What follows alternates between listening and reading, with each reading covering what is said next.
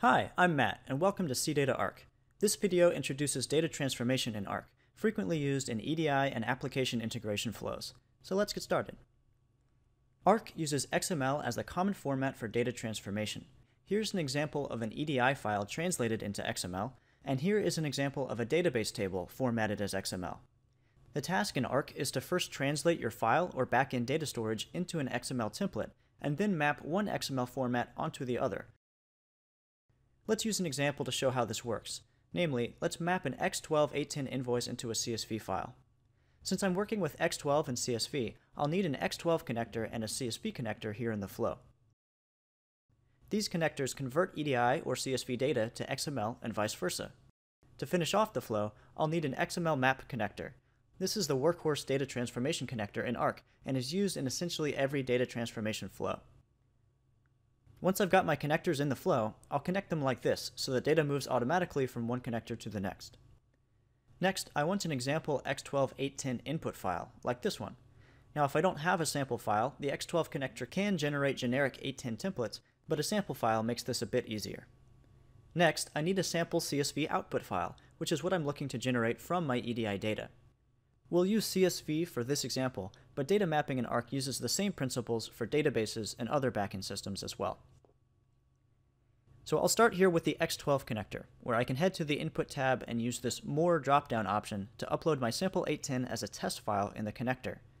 This lets the X12 connector turn this sample file into an XML template for mapping later. Then I can head to the CSV connector and follow the same process with my sample CSV file. This will once again let the CSV connector generate an XML template out of my sample file. Now that we have our input and output templates, the final task is to map one template onto the other. I'll go into the XML map connector and see that it's already read that CSV template that I uploaded as the destination template for our mapping. I just need to finalize the source template for our mapping, and to do that I need to select the X12 document type that I'm working with. Here we see the list of generic X12 templates, but I can scroll to the bottom to find my specific test file that I just uploaded. Now, the visual designer shows the XML structure for both my source and my destination, and now I need to drag from the left onto the right to establish a mapping relationship between the two. The details of advanced mapping extend beyond the scope of this particular video, but here's the quick version. First, I need to establish for each relationships for any repeated structures in my data. In this case, the EDI invoice might contain multiple line items, and each row in my CSV file should correspond to a new line item. So my for each relationship needs to be on this repeated line item structure. And I know that the IT1 loop 1 element corresponds to a line item in my invoice, so I'll simply drag that onto the invoice line items element here on the right. We can see this establishes a for each relationship within the mapping.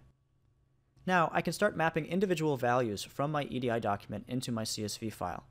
For instance, I know that the purchase order number is here in BIG02, so I can simply drag that onto the appropriate column name in my CSV file, like this. Then, my invoice number is in BIG04, so I can simply do the same. From here, I could go through these N1 loop 1 elements to map my customer data, and for more information on determining which of these N1 loop 1s contains your customer data, please check out our advanced mapping series. So I could continue mapping more values here, but hopefully the pattern is clear. It's all drag and drop, and first you start with repeated structures in your data, like repeated line items, then you map the individual values within those structures. Okay, so I'll go ahead and save my mapping changes, and then test this flow by running an EDI file through it. I'll go to the Input tab of the X12 connector, upload the file that I want to send through the flow, and then hit send. This file will now be converted into XML, and then mapped into a new structure of XML, and then finally converted into CSV. So I can find the CSV output here in the CSV connector's Output tab, and I'll bring it up here so we can see it. So this CSV file is a bit sparse because I only mapped a few values in the document, but hopefully it demonstrates the point that my EDI data has been mapped into a CSV format. So that's a brief overview on how to create data transformation flows within CData Arc. For more information on mapping specifics, please do check out our advanced mapping video series where we dig into all of the features of the XML map connector. Thanks for watching, and as always, you can find more resources at arc.cdata.com.